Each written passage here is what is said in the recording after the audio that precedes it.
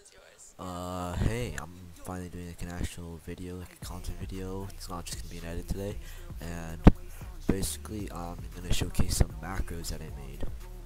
Uh, the first macro I'm showing today is called Selective CC, and you just plug it into your Fusion, and you can use the dropper to select a color. And so once you selected your color, at the bottom, there is all of these color correction settings. And the color correction will only affect the color you selected. You make the saturation up or down, change the hue, contrast, and it'll only affect that color. And if you want to change like the threshold, you could always use this.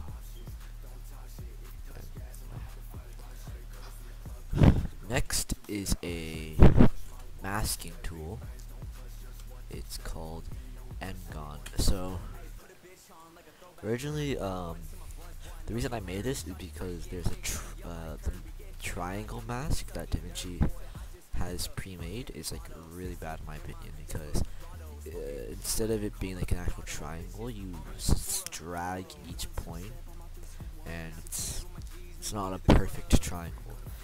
But if you use Ngon, you can have any shape actually. It could be a square, uh, pentagon, hexagon. The triangle is actually even. There's all the options like a regular uh, mask would have. Invert, angle, height, width, soft edge, solid, border width, position is if you have the border width. And so basically it'll move it. And there's the X offset, Y offset. And it, it's actually pretty useful in my opinion because it's nice to have a tool that will let you have a triangle. Because you know basic one sucks.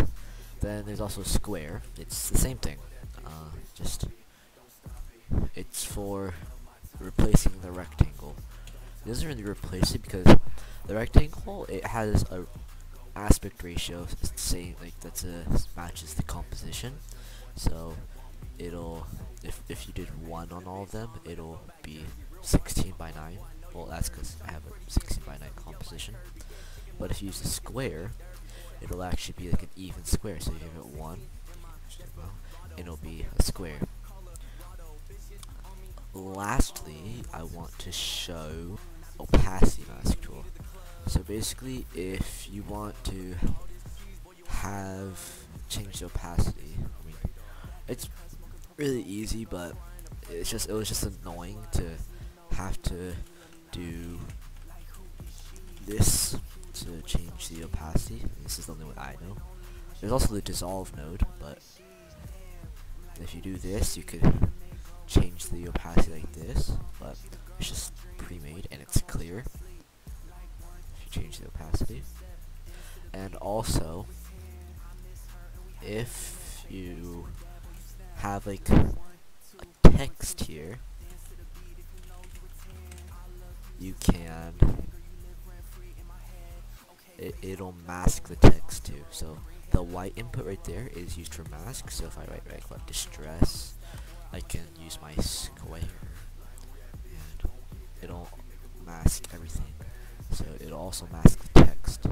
It'll it'll recognize this as just one media in like one input. So it'll mask everything. So it's half. If you didn't do this and you just had it on here,